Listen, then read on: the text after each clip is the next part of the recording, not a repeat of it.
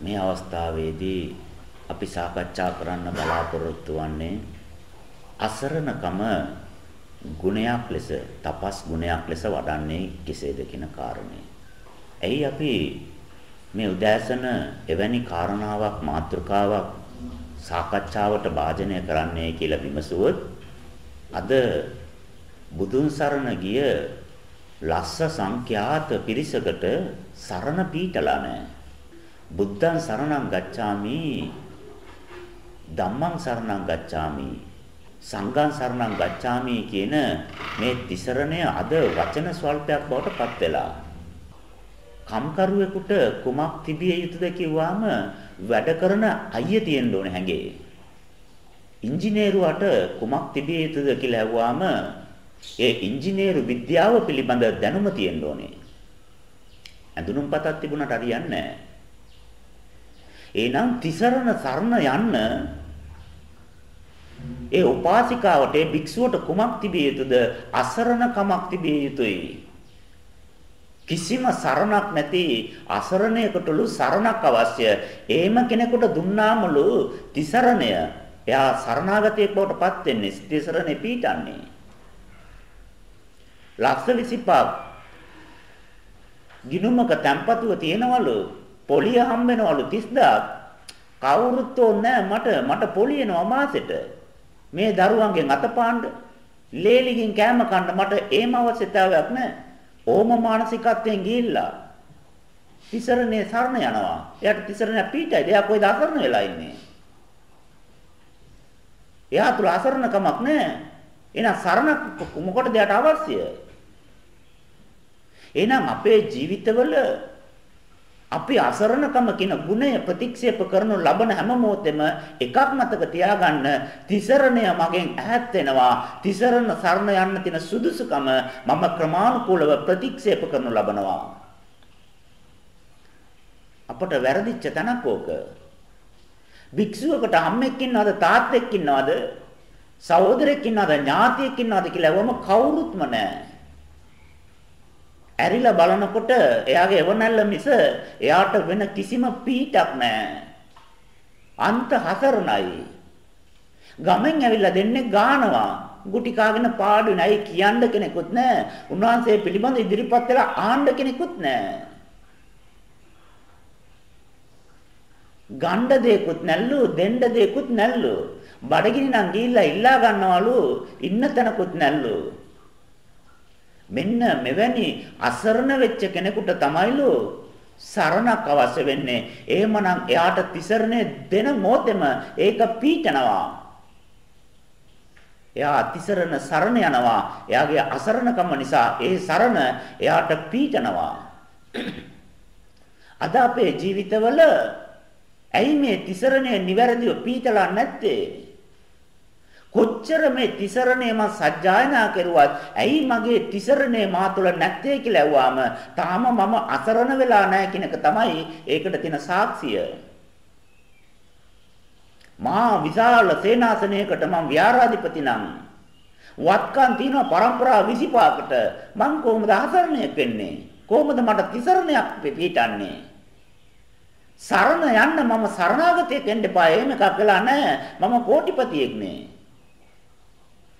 මෙන්න මේ දුර්වලකම් අඩුපාඩු අපේ ජීවිතවල අපේ වත්කම් වල තියෙනවා නම් කවදාකවත් අපට තිසරණේ පීඩන්නේ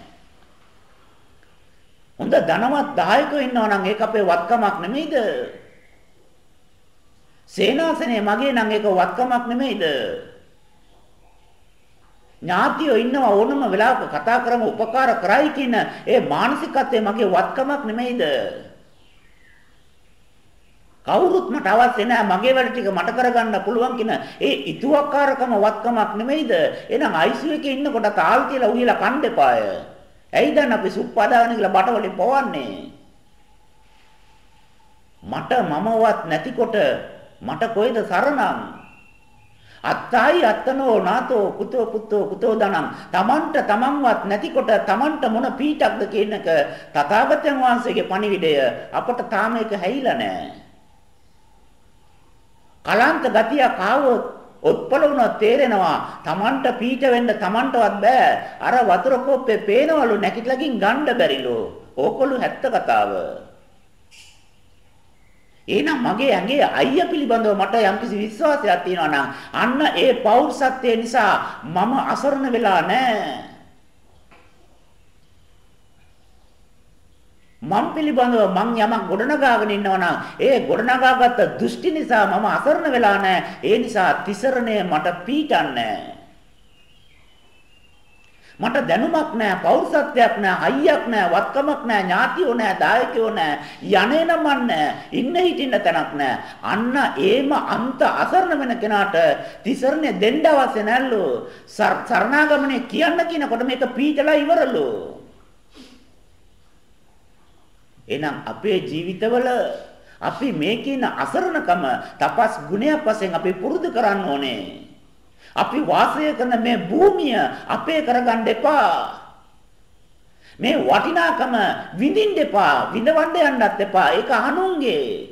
බුදුහාමුදුරන්ගේ සේනාසනයක අපි ඉන්නවා අපි ආගන්තුකයෝ. මේ සෑම වත්කමක්ම අපිට පේන්න ඕනේ ආගන්තුක වත්කමක් මිස අපේ එකක් නෙමෙයි කවුද ඒක අපේ කියලා කිව්වේ. එම කිව්වනම් ඒක දෘෂ්ටියක්. මාපොළොවයි මාපොළොවේ තියෙන ගල්වල සිමෙන්ති කොහමද අපට අයිති උනේ? ඒක මුලාවක්. මේවා තියෙනවා තියෙනවා කියන විශ්වාසයක් අපිට තියෙනවා. ඇත්තට මේ මේකක් නෑ. මේ පරම සත්‍ය තුල අපි ජීවත් වෙන්න ඕනේ. ඇති දේ ඇතයි මම විශ්වාසය කරන ලබනවද? ඒක ඇත්තටම ඇති දෙයක් නෙමෙයි නැති දෙයක්. නැති දේ නැතයි මම විශ්වාස කරනවද? ඇත්තටම ඒ දේ ඇති දෙයක්. මේ ඇත නැත කියන ධර්මතාවයවත් අපට වැටහිලා නැහනේ. මම මේ ලෝකේ නාම රූප අනන්ත අප්‍රමාණ දකිනවා. උදේ ඉඳලා රෑ වෙනකම් මං කොච්චරනම් මේ රූප මගේ ඇස් වලට ස්පර්ශ වෙනවද? භෞතික දේවල් මොනතරම් දකින්නවද? ඒ හැම දේ තුලින්ම මම අසරණ වෙන්න ඕන. අනේ රූපයක් දැක්කා රාගයක් ඇති වුණා බලන්න මං කොච්චර අසරණද කියලා මගේ රාගය නිසා මගේ නිවනට මං කොච්චර අසරණ වෙනවද මේ අසරණකම දකින්න ඕනේ දකින්න රූපේ නිසා ආසාවක් ඇති වෙනවා, කෑදරකමක් ඇති වෙනවා, සුවඳ නිසා කණ්ඩ හිතෙනවා. අනේ මේ ව්‍යංජන ආහාර දකින්නකොට මොනතරම් මසුරුකමක්, කෑදරකමක්, තණ්හාවකට ගන්නවද? තණ්හාව, මසුරුකම, කෑදර නිසා මං කොච්චර අසරණද? දකින්න රූප නිසා, අටගන්න කෙලෙස් නිසා මම අසරණ වෙනවා. ඇහෙන ශබ්ද නිසා ඒ ශබ්දවල අර්ථ නිසා ඇතිවෙන කෙලෙස් නිසා මම අසරණ වෙනවා අනවබෝධයෙන් ඇසිරෙන හැම චලනයක් ගානේ මම නිවනින් ඈත් වෙනවා විනයෙන් ඈත් වෙනවා ධර්මයෙන් ඈත් වෙනවා. ඒ නිසා මම අසරණ වෙනවා. කණ්ණාඩියේ මූණ බලනවා වාගේ ඇස් දෙක පියාගෙන Taman දිහා බලන්නකෝ සිටිවිලි 25ක් වෙනකොට ඒකෙන් කීයක් කෙලස්ද කියලා. මේ ලෝකයේ අන්ත අසරණයෙක් මම. සිතවිල්ලක්වත් නැල්ලු මට සරණ යන්න ඒකෙත් තියෙන්නේ මොනවාරි එක කෙලෙසයක්ලු සතරෙන්දි පාද වඩනවලු භික්ෂුවන් අනේ ශ්‍රේෂ්ඨ උත්තමය කියලා මිනිස්සු කියලා බිම පෙරලි පෙරලි වඳිනවා. හැයි ඔබ වහන්සේ සතරෙන්දි පාරේ වඩින්නේ මැරෙන්න බයයි. ආයුෂ සංකාර කල්පයක් ඉන්න මම මේක වඩන්නේ පුදුම ලෝභයක් නේ. මරණ බය උන්වහන්සේට අත්හරින්න බෑනේ. ඉපදීම මරණය කියන එක පොදු ධර්මතාවයක් ඒක පිළිගන්නෙත් නෑනේ. කවදාරි දවසක මැරෙන්න එපාය. කොහාට ගිලා කොහේ ඇංගිලා කොහමද බේරෙන්නේ ඒකවත් තේරෙන්නේ නෑනේ. උන්වහන්සේට මේ වැඳලා තියෙන මිනිස්සු පෙරලි පෙරලි. සමහර අය රාහත් වෙන්න පෙරුම් පුරනවා රාහත් වෙන්න ಗುಣධර්ම වඩනවා. ඇයි ඔබ වහන්සේ රාහත් වෙන්නේ රාතන් වහන්සේට හරියට වඳිනවනේ මිනිස්සු. කන කර තියෙන ගලවලා ඔක්කොම ටික පූජා කරනවානේ. ගුවන් ඥාන පූජා කරනවලු, ප්‍රාඩෝපජර පූජා කරනවලු, සියලුම ලෝක සත්‍ය උනාසර වඳිනවලු. අර රාත් මොදියේ ගෞරවය පිණිසලු මේ රාත් වෙන්නේ. බුද්ධත්වයේ පතන්නේ සසරෙන් ලෝක සත්‍යය ඊතර කරන්න නෙමෙයිලු. ඒ බුද්ධත්වයට ලැබෙන ගෞරවය ලබන්නලු. කොහොමද යා බුදු වෙන්නේ? කොහොමද යා රාත් වෙන්නේ? මේවා දෘෂ්ටි මේවා වැරදිච්ච තැන් මේ ඔක්කොම නිවැරදි කරගන්න. රාත් වෙන්න සසරෙන් එතර වෙන්න. සසරෙන් නතර වෙන්න කිසිම තැනක රාත් බෝධියක් දේශනා කරලා නැහැ කවුරුත්. අපේ චරිතය නිසා අපි මොනතරම් ඉතුවක්කාර වෙලාද උඩඟු වෙලාද ආහංකාර වෙලාද මාන්නයෙන් මත් වෙලාද ඒ නිසා අපේ අසරණකම ගිහිල්ලා මට බයින්න දෙනවා උඹට එකක්. කෝයාගේ අසරණකම. සිවුර දැම්මාම එයා යාචකයෙන් ඉල්ලාගෙන කන කෙනෙක් කෝ ඉල්ලාගෙන කන මානසිකත්වය උඹට ගාන එක තුළ කෝයාගේ අසරණකම තියනවද නැහැ අසූලාට අසූලා බැනලාද? ආ ඔබ වහන්සේ බැනුම්නාල මට බනින්න ඕනේ බලන්න. දත් දෙකක් ගලවලා මං යවන්න ගෙදර. කෝ අසරණකම? කෝ යාට පීඨපු තිසරණේ මොකවත් නැහැ මානකමවත් නැහැ පාර දෙනවා කියන මානසිකත්වයේ තුලම මානකම ගියා භික්ෂුවකට නිඳා කරනවා කියන මානසිකත්වයේ තුලම අපාස කරනවා කියන මානසිකත්වයේ තුලම මානකම ගියා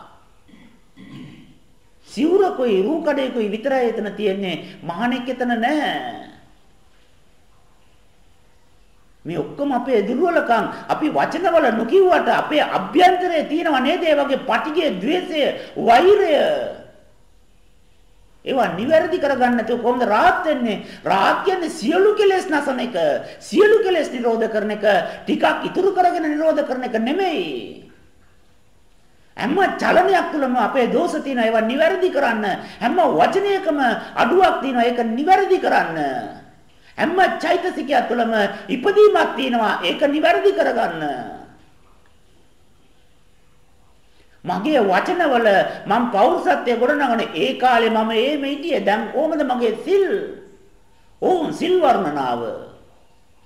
ඉස්සර වගේ නෙමෙයි දැන් චතුරාර්ය සත්‍ය මට ක්‍රමවේද තුනකින් කියන්න පුළුවන් නේ කොහොමද එයා තුළ තියෙන ධර්ම මහන්‍ය පෞරුෂත්වය?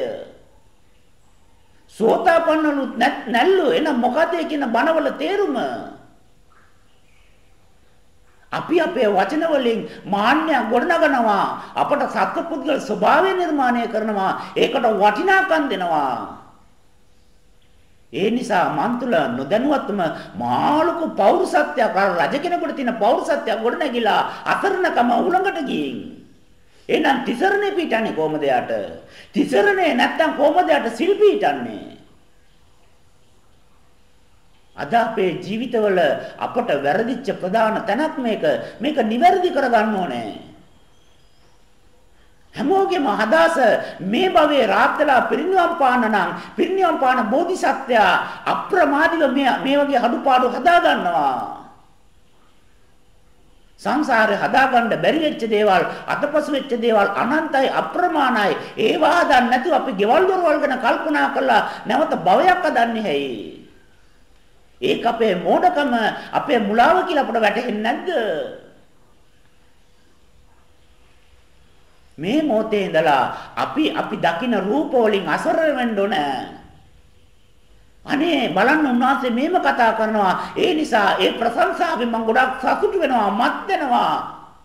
ඒ සන්තෝෂය තුළ මගේ අසරණකම ගියා.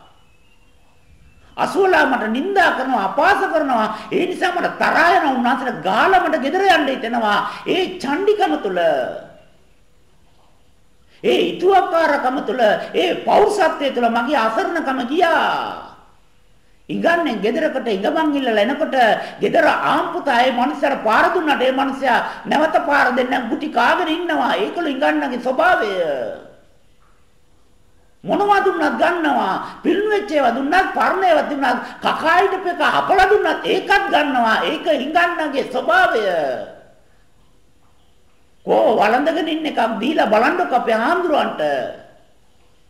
පිරිණු වෙච්ච එකක් දීලා බලන්නකො පාත්‍රය අපේ මූණට එයි. කෝ ඒ යාචකයා කියන අසරණකම ඉල්ලාගෙන වළඳනවා මම ඉල්ලාගෙන කාලා ජීවත් වෙන කෙනෙක් යන්නේමක් නැහැ කිසිම පීඩක් නැහැ කෝ ඒ මානසිකත්වය ඒ උත්තරීතර මානකම කෝ ඒවා නිවැරදි කරගත්තාම මම මම දකින රූප වලින් අසරණ වෙනවා. මම මට හැෙන ශබ්ද වලින් මං අසරණ වෙනවා. මම මට දැනෙන රස වලින් අසරණ වෙනවා. මම මගේ චරිතයෙන් අසරණ වෙනවා. මම මගේ සිතුවිලි වලින් අසරණ වෙනවා. ඒ අන්ත අසරණකමට තිසරණේ පීඨනවා තිසරණ සරණ මම ඉපදීමෙන් නැවතිලා සසරෙන් එතර වෙනවා. මෙන්න මේ ගුණය තපස් ගුණය මේ මොහොතේදලා අපි පුරුදු කරමු. අපේ ජීවිතවල යම්කිසි පෞරුසත්වයක් අපි සිල් පෞරුසත්වය, උපසම්පදා පෞරුසත්වය, වස් පෞරුසත්වය, වැඩිහිටි පෞරුසත්වය මෙන්න මේ වගේ මොනවාරි එකක් අපි දෘෂ්ටියක් දාගෙන ගොඩනගාගෙන තියෙනවා නම් ඒ දෘෂ්ටි ඔක්කොම ගලවලා පැත්තකින් තියලා අතරන වෙන්න මේ තරම් ඉල්ලාගෙන කැලාවේ ගස් යට එන්න මට මොන වසක්ද වස බොණ්ඩ වෙලා තින්නේ මට. මේ නාම රූප වලින් මම උදේ ඉඳලා රෑ වෙනකන් ගුටි කනවා. රාගෙන් ගුටි කනවා ලෝභයෙන් ගුටි කනවා ද්වේෂයෙන් ගුටි කනවා. නාම රූප නිසා ඇලිලා ගැටිලා මම ඇලීමෙන් ගුටි කනවා. ගැටීමෙන් ගුටි කනවා. මට මොන වසක්ද පුළුවන් නම් මට දෙන්න වස. මෙන්න මේ වගේ මම අසරණ වෙන්න ඕන. මගේ අසරණභාවය තුල මට සරණ ලැබෙනවා තථාගතයන් වහන්සේගේ. එහෙනම් මේ විදියට ඇස කන දිව නාසය සමසිත කියන ආයතන හයෙන්ම මම සරණ යන්න ඕන.